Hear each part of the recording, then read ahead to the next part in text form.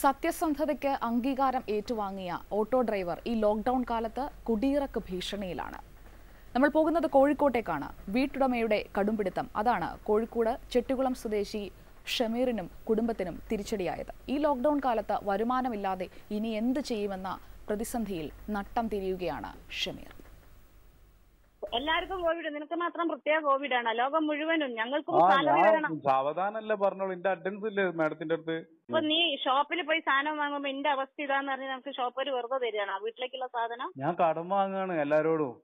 ഈ കേട്ടത് ഷമീറും വീട്ടുടമയുമായുള്ള സംഭാഷണം. വരുമാനം തരേണ്ട ഓട്ടോ ലോക്ക്ഡൌൺ കുടുക്കിൽ. മുന്നിലുള്ളത് കുടുംബവും കടങ്ങളും വീട്ടുടമയുടെ അന്ത്യശാസനവും. കടം വാങ്ങിയിട്ടൊക്കെയാണ് ഞാൻ മുമ്പോട്ട് പോണത്.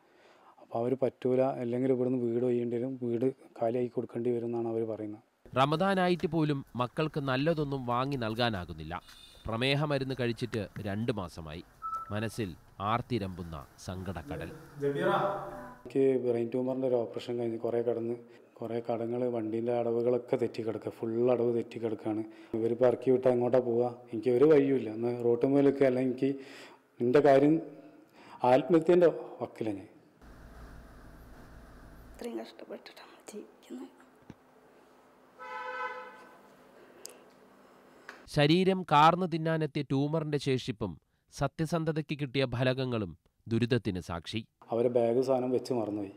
അത് ഞാൻ തേടി പിടിച്ച് സാധനം കൊണ്ടുപോയി കൊടുത്തു അവർ പത്ത് പവനും അമ്പതിനായിരം റുപ്യൊക്കെ തിരിച്ചു കൊടുത്തു. ഞാൻ ഒരാളെ പറ്റിക്കണമെങ്കിൽ ഈ സാധനം ഞാൻ കൊടുക്കേണ്ട ആവശ്യമില്ല. എന്തിനാ? ഒരാ ആരെങ്കിലും അറിയായിരുന്നോ? എനിക്ക് അങ്ങനത്തെ ഒരു മുതലും വേണ്ട.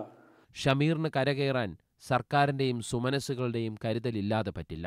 മുഖ്യമന്ത്രി ഇത് കണ്ടിട്ട് എന്താണ് വേണ്ടത് വെച്ചാൽ ചെയ്തു തരാം സജയനൊപ്പം അൻഷാദ മില്യാസ് ഏഷ്യാനെറ്റ് ന്യൂസ് കോഴിക്കോട്.